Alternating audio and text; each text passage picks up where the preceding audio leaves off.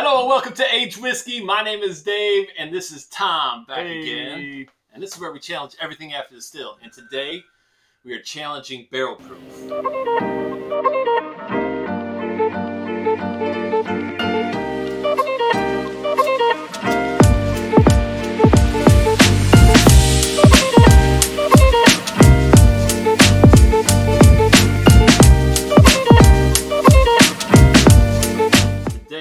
The second run of this experiment.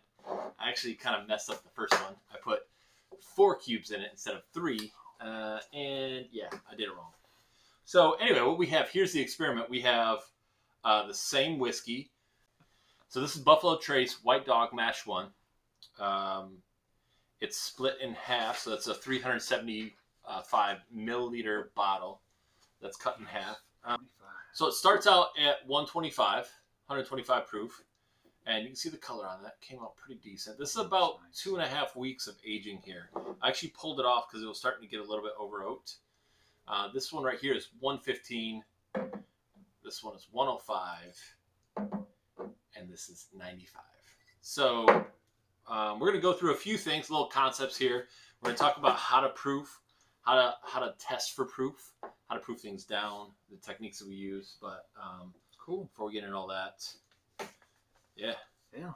back at it again, man. Yeah, it's exciting to be back here. Yeah, it's been a minute. I think I don't have enough Glencairns. It's Um, all right. I Do a just- uh, rinse out. I just broke another one this past week.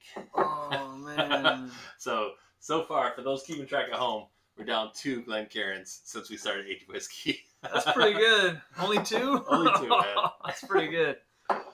Um, so, just a reminder that there will be a link to a project document here in the um, the description of this video, and yes, it will have information about the last project that we did for barrel proof and how it failed and how I had four staves on it and all that kind of good stuff. So you're going to see that there. Uh, that's a link over to a Google document.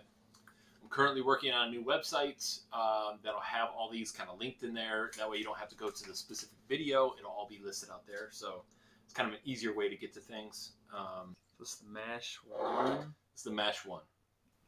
So it's it's a, a mash of corn, rye, and barley. So sweet. Again, 125 proof. And it doesn't really burn that on the nose for 125 proof. It's got a little. Do you get any of that copper tint on it? Just A Yeah. little, A little bit there. But- more on like the finish. I got that sweet. I got the I don't know. Like the raisiny bubble gum. definitely raisiny. Right? Yeah. Right, right. yeah, it's it's nice, man. It's, It's not bad. different tasting, uh, unaged. I wanted to get into um, a little bit of how we test for proof. And there's really two ways as home agers are are playing with things. And um, the easy way, not always the most reliable way, the easy way is one of these guys, a refractometer. Um, so you basically um, put whiskey on this area right here. Light refracts off of it, and it shows you a level of proof that's on there. And um, this will this goes up and down based on temperature. I mean, really everything does based on temperature. So you got to kind of dial it in. And this right here is your little dial in um, knob right here. So if we're gonna test this right now, which we are, we're gonna double check to make sure that this is 125 proof. And usually we have no problem with it at all. So this is showing a little bit higher, which means it's probably not calibrated appropriately. So just dial it down. Pretty good. So go ahead and look in there. there. See how it's at 62. Oh, okay. Yeah. See that line right yeah, there? Yeah, that's cool. And you can dial in the, the eyepiece as well. It'll kind of focus in for you. Yeah. yeah. 62 ish. Yep. Mm-hmm. But there's there's another technique too. The other technique is Mm. um, a I guess this is also an alcohol alcoholometer. You know, anything that measures alcohol is a alcoholometer. You up. basically, yeah, you want to fill it up to about three quarters to uh, ninety percent. in that space. Because obviously we're about to drop the. Um, I don't know if everybody can see this. So about right there is fine.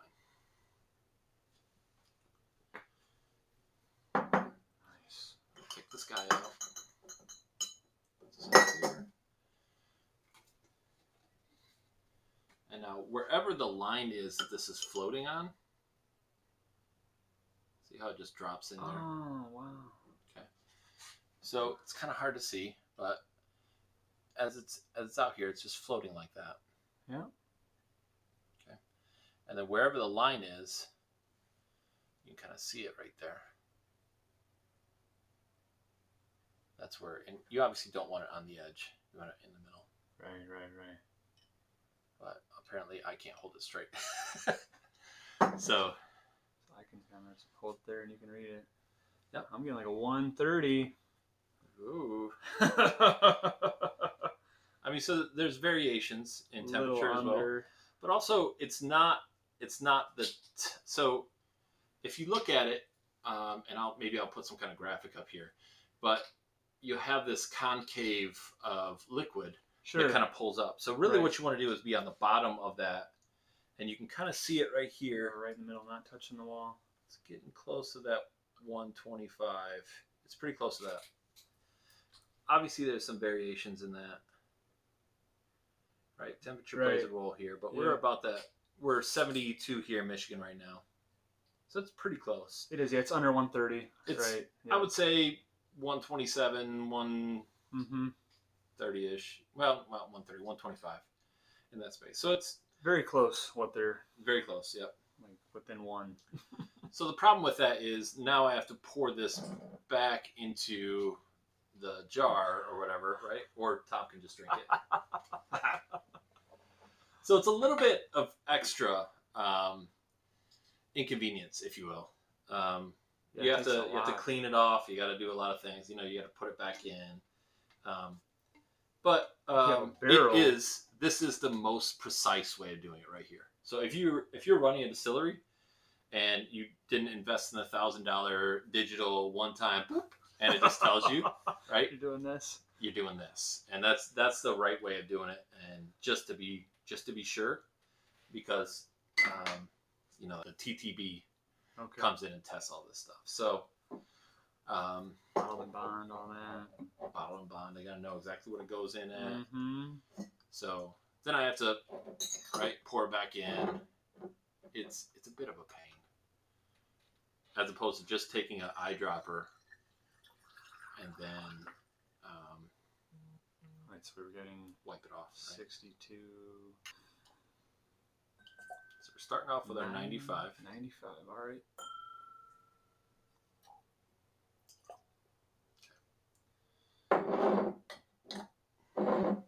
Mhm. Ooh, that corn, Big corn. big time. Get some butter in there too. Yes, buttery corn. Some cornbread action. Ooh, some cinnamon. Got the cinnamon popping through there, which didn't come through in the nose at all. No. Wow. And I don't taste a lot of corn on it. No, not at all. Oddly enough, that cinnamon is lingering around. Cinnamon is is dominant. Like a hint of that raisin. This, oh, that is, that is good. 95. It's not as heavy on the nose as yeah that No. 95. Definitely not.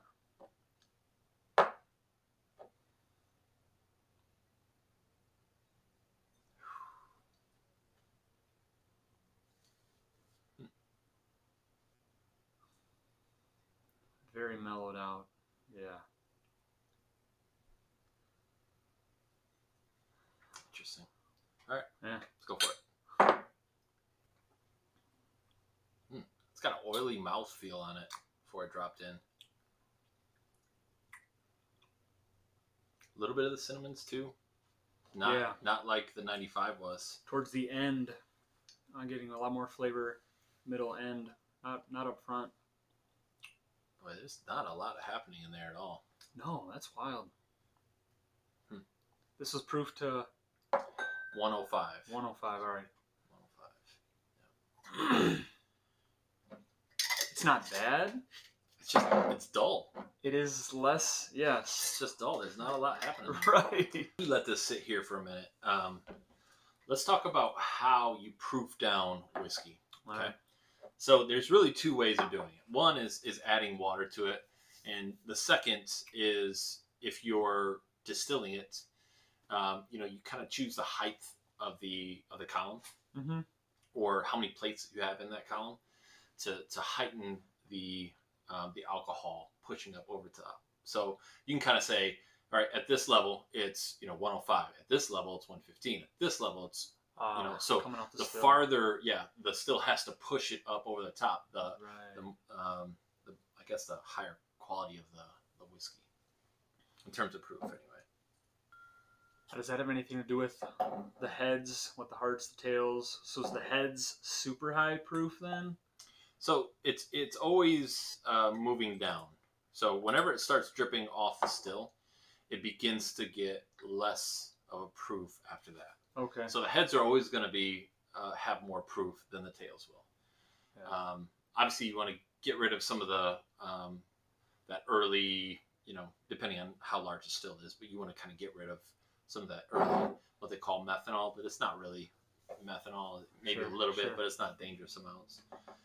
Um, but yeah, over time, um, more water is caught up in the column to push over the top, so the it kind of tails off towards the end, and you have to continue raising up the temperature of the still. The butter. I get some cinnamon smell in there, or maybe that's just me not rinsing out.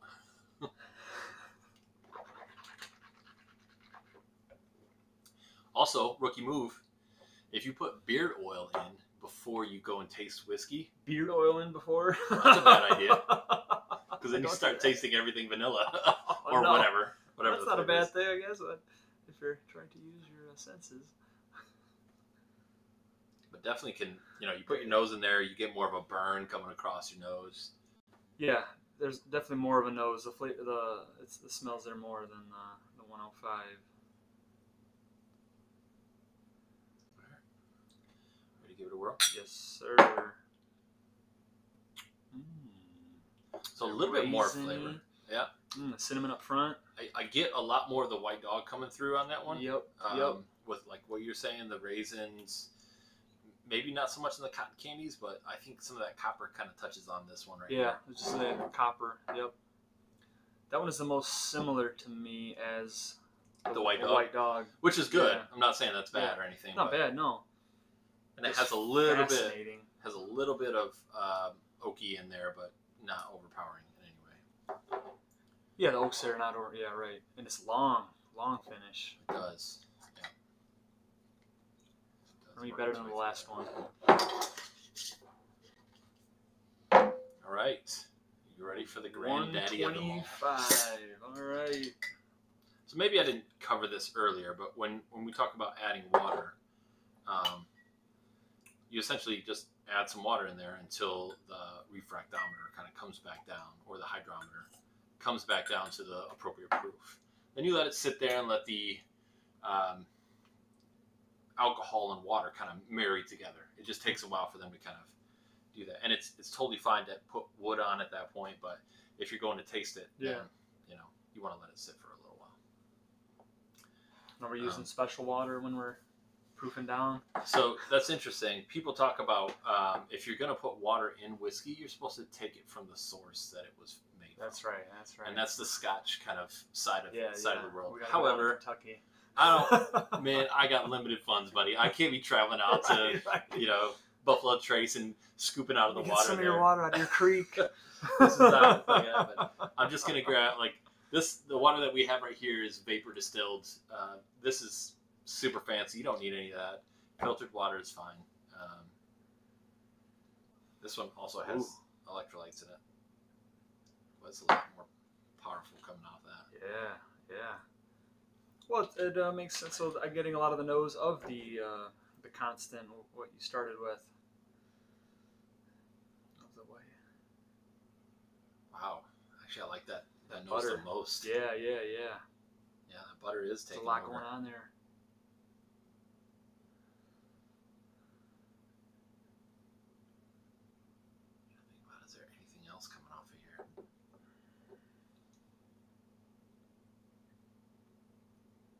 Maybe I'm fixating on butter, but I, I almost smell bread, like white bread. The corn. There's the corn there. A little bit. Yeah. Yeah. Let's get Try it out.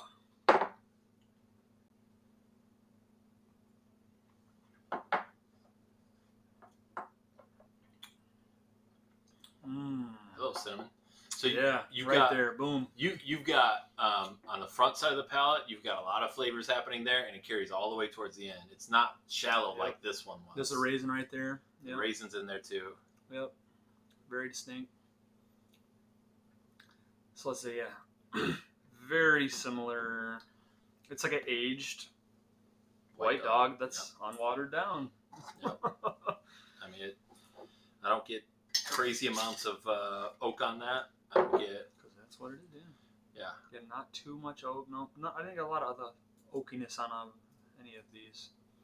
I think it's crazy to look at the the colors happening here. This right here is the 95. and This right here is the 125. Look at how red that is. Like it's crazy. Um, and remember, it's just that there's more alcohol in there. That's really all it is. That's it. Well, so now do you know how much water did it take to water 125 down to 95? it's it's actually a uh, not a significant amount, Mhm. um, but and I, I didn't I didn't write down exactly how much, but Sure. obviously you know how it goes. It's a good amount. It's a little. This is medium, and that's a lot more, right? Okay, So, right, right. um, but there's there's actually online calculators, and this is a good point. Um, I can link over to. I think the one that I like the best is probably over at Stillit uh, that Jesse put on his website.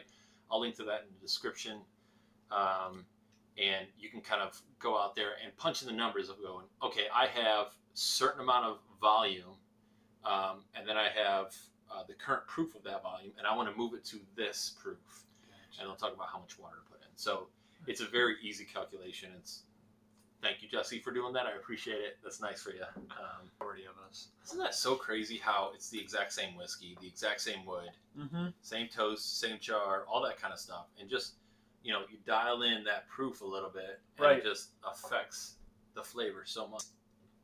I still like the 95. It's weird to me. We all think, oh, higher proof, more flavors there. Until you hit that 125. Yeah. and then you know it's interesting because you know in my in my show notes here um, as i'm going through and looking at how other distilleries are proofing their whiskey and obviously mash bills are totally different right so Oh, yeah. this is going to taste and have certain flavors that come through Right. um, based on what they're trying to make but if and i talked about this in the last video but i think it bears repeating if i'm looking at um, what barrel proofs uh, distilleries have at least in the past put out. This is not what they're doing right now because obviously I don't know what they're doing right now. But Yeah, this is what they put out in the past. So I'm gonna go from the bottom up. So Michter's is a 103 entry point. Um, Peerless is 107. Mhm. Maker's Mark is 110. Uh, Weller Van Winkle is 114 Wild Turkey 115 and Four Roses is 120. 20. Four roses, 120. Which isn't that interesting that Four Roses is 120 Right. when they're coming off some of those floral notes. You'd think that'd be kind of moving down a little bit. Yep. Yep. Um, no, it's. Right. But let's get into like We'll which one you think yeah. the that you like. to me, I think it's between 95 and 125, It's wild, right? Yeah, for me too. 95, 125. and that's. But to me, I'm gonna give the nod to 125 for Yeah. the winner. We're like It's higher just- proof. it's just something I'm more expecting. It's something I'm looking for. At Yeah. 95, I'm losing some of the flavor that comes through. You are. honestly. You are. You are losing some. So And you lose a lot more though. 115 and 105. It's just. yeah. so let's let's do a little fun experiment here. All right. Let's take this and proof it down to 95. Oh snap! Right. So let's see where it's at. So we're putting about 10 mils in here, in each um, each glass. And if I was good at this, I would know exactly what that number is. Actually, you know what? I'm gonna pause. I'm gonna try and do that. Damn. All right, so after some beep beep boop boop boop, boop uh, we went over to Jesse's website over at Stillit and pulled up the dilution calculator, uh, and it told us if we have 10 milliliters, we should put three milliliters of water in it to bring it down to 95. So let's test that out. So four is right here, three's right there. See that? Yep, yep.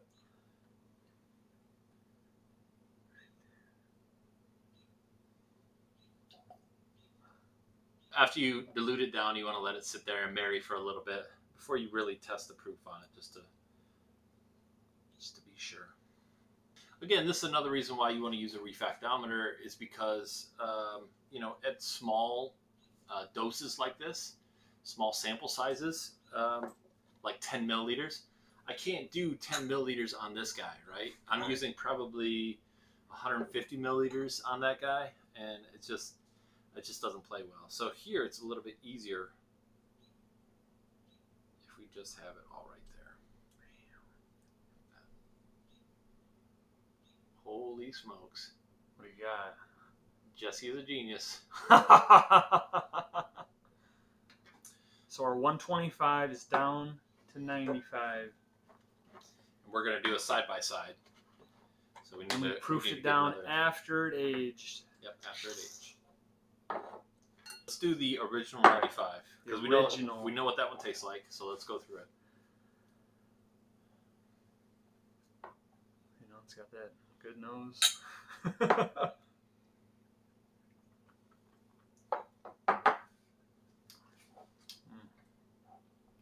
Yep. It's good. Still, I mean, for 95, that's Right. fantastic, man. It's good. I mean, A lot more of that corn.